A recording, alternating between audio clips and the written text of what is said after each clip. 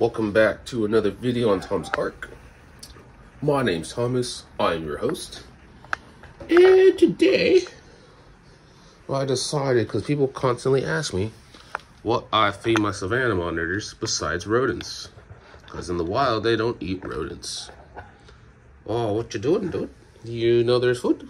Do you want some foods? He's like, open this door and feed me now.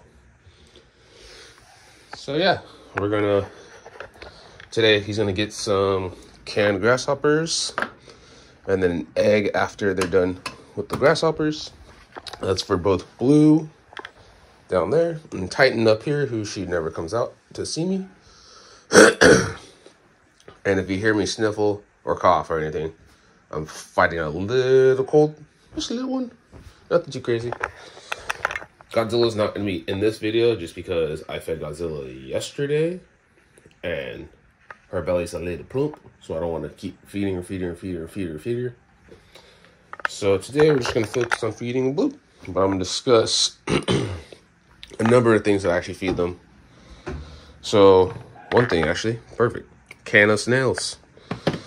I feed them snails. I'll feed them grasshoppers. I'll feed them canned wise, those two canned shrimp, canned silkworms, sometimes canned superworms, sometimes canned crickets. The reason I feed the canned crickets though is because every time I put large crickets in here, half of them get eaten, the other half get on the floor, and then downstairs, and then out in my room. And it's not fun. Just listen to a cricket at night when trying to sleep and just. Oh, I want to kill it. Anyways, so what we're going to do we got our dusted cup. Open this canned grasshoppers. Oh, almost sliced my finger off with one hand. Oh, that would have sucked. On camera too, just almost sliced my finger. Or I did slice my finger, but not crazy. Um, Give me one second. I'm gonna clean my finger up. I'll be right back. All right. Now we're back. I got my fingers all taped up. Um, be very careful with opening this. I would definitely recommend using two hands and keep your focus on this, not on the camera or whatever else. So we're gonna put the crickets in there. Got a little bit of Arcadia Calcium Pro with some magnesium in it down right there for a second.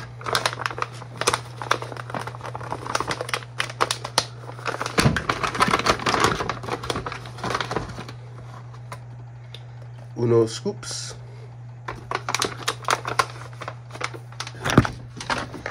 So put a little in there. A little bit of Rep-Cal calcium with D3. Got my little scoop.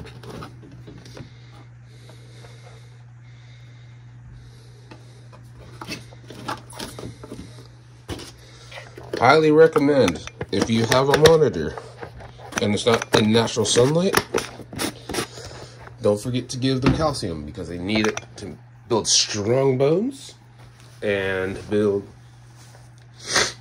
a strong monitor. Now, put that in there. We'll take this, break her up. And then also, live wise, what I do feed I feed superworms. I'll feed hissing roaches.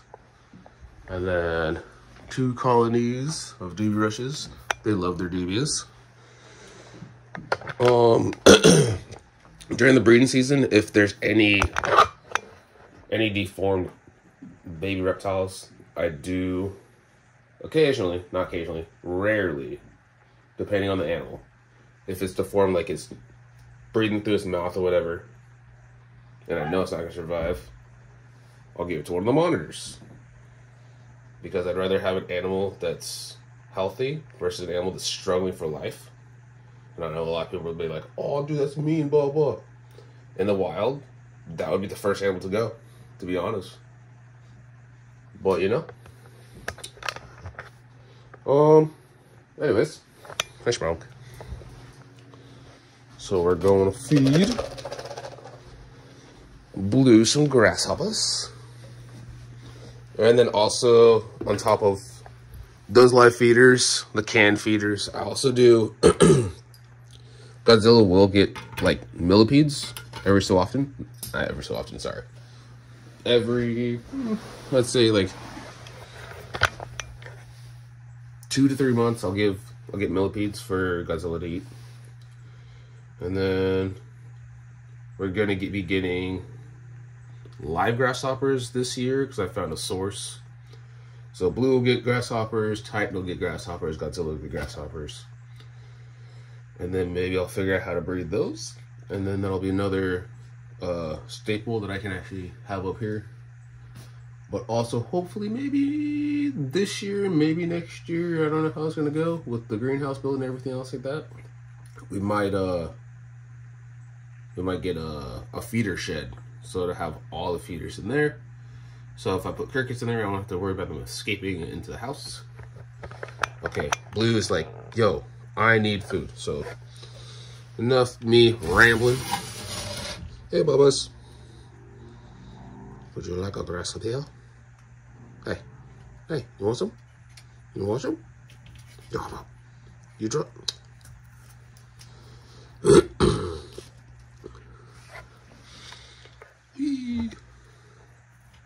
Oh, good boy.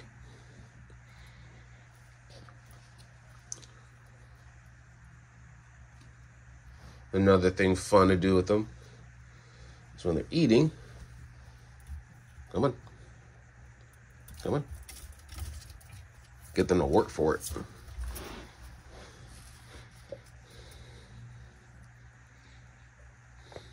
Like my uh, makeshift 2x4 with a piece of wood and a screw. Comment down below if you like that. I don't know why. Well, yeah. Oh, look at that good boy. Look at that good boy.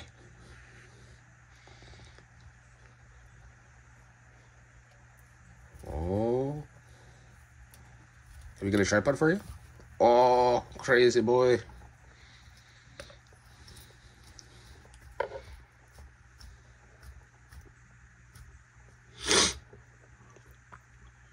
Is that good? Would you like some more?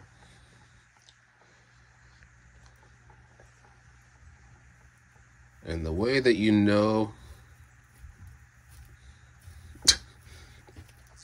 the way that you know that you should stop feeding them at a certain point, that belly right there will get like somewhat plump. So all those little, here, take that. All those little like flaps that they have on the sides will basically disappear. And that's how you know that they have a full belly. Because they can expand their belly and expand their, their sides to take in what they need to. I would say, huh, you might be almost a foot. I haven't measured blue but I've also had him since he was probably about from there to, hey, I'm trying to show people. Get distracted with this. Awesome, big one too. Oh, you swallowing your foods? Here, come here. Okay, so I'd say he was probably from from head to probably about here. He was a little dude when I got him. And now he's growing like crazy.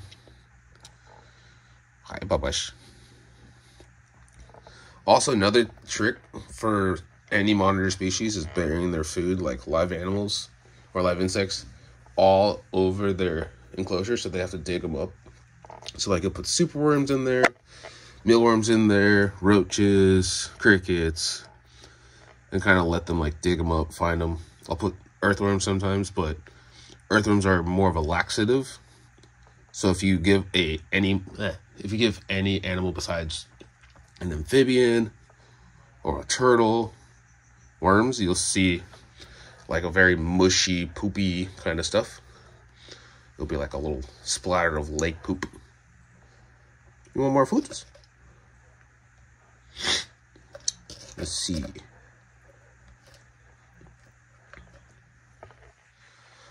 But the other thing I was going to tell you guys is in the wild, their uh, gut content, when they find deceased savanna monitors, it's usually a mixture of millipedes, beetles, um, what was the other one? These like monster sized crickets, some grasshoppers, and then they'll find like small amounts of like gecko in their gut content. But the one thing they never find in any savanna monitor's gut content, in the years of finding deceased monitors, they have never found a mouse or a rat in their gut content. And that is because they do not predate on rodents.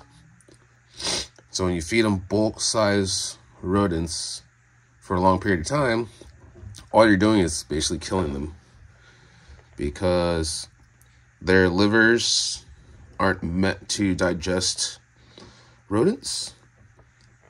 What are you doing? Are you helping yourself digest? And basically, all, oh, you're digesting your foods, getting it down, right? Basically, that's how uh, Savannah monitors and a few other monitors will get fatty liver disease just from feeding nothing but rodents nonstop. So if you ever get a Savannah monitor, highly, highly, highly, highly recommend not feeding them any rodents. Insects they can eat. I mean, my female's three foot, and she eats nothing but insects and eggs. And then occasionally I'll give her some shrimp or some tilapia. That's it on the that's like once a month, maybe once or twice a. I say like once a month or every two to three months. But everything else is just insects. But I hope you guys enjoyed this little fun fact spreadsheet of knowledge that I had coming out of my brain. So if you enjoyed that, don't forget to subscribe. Uh, hit like on the video. Comment something down below that you might have learned or something that you know about Savannah monitors that I don't. Also, if you feel like you learned something, share this video with your friends, your family, your coworker, your dog, whoever. Um, and yeah, hope you guys enjoy the rest of your week, your day, your year. Happy 2023. Thank you to the, why did you throw dirt? Thank you to the 147 subscribers. Something 147 yeah, 147 subscribers. Your guys' support supports me, motivates me to make more videos for you guys. And hope you guys enjoyed. And now we are gone. Bye. Hold up.